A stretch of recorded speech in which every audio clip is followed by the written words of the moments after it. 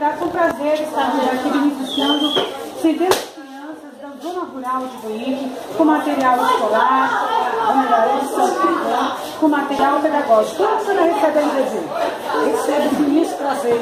Fiquei muito feliz quando você falou comigo que a escola Júlio Monteiro tem sido contemplada por 200 kits de material para os estudantes.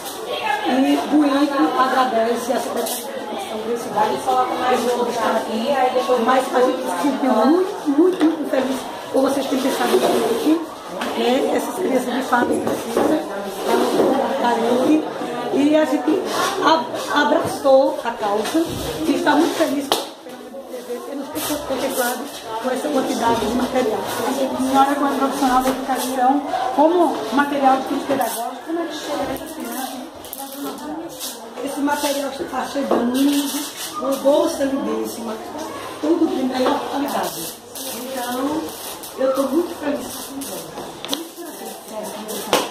As crianças, curiosas, então, nós sala. Estão ali encantadas. São né, todas as crianças que, como vocês viram na chegada, estão ansiosas né, para saber também do trabalho de vocês e saber que também vão receber esse kit. E elas estão muito felizes, porque é uma, uma coisa diferente. Isso incentiva a permanência nessa com, com certeza. Quer dizer, vão ter um material só deles que na escola, se vem em conjunto, né? A escola oferece, mas em pequena quantidade. A gente sabe que eles são carentes e não tem condições de comprar o material. Então, se eles saem com uma bolsa linda dessa, com dois cadernos, com essa quantidade de cola, é, de lápis de cores, né? Em régua, quer dizer, é um kit completo. Um kit que seria muito bom que o município, todos os municípios tivessem condições de oferecer como vocês estão fazendo. Senhora Graça, toda essa colaboração que a Lei Boa Vontade traz aos municípios, a a escola Júlio Monteiro, foram captadas através de doações. Colaboradores que mantêm todo o trabalho da LDV e que abraçaram a causa da campanha Criança Nota 10. Qual o seu recado né, a todos esses colaboradores? Eles devem continuar? Com certeza. Eu espero que se muitos colaboradores que agora não tem.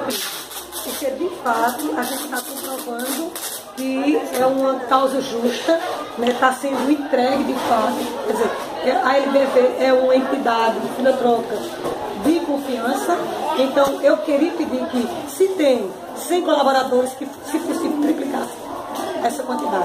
Porque aí não só ia oferecer a cidade de Brix com essa escola, mas também outros municípios e outras escolas que são carentes como a nossa. Em nome do nosso diretor-presidente José de Paiva Neto, a gente agradece de trazer esperança a essas crianças.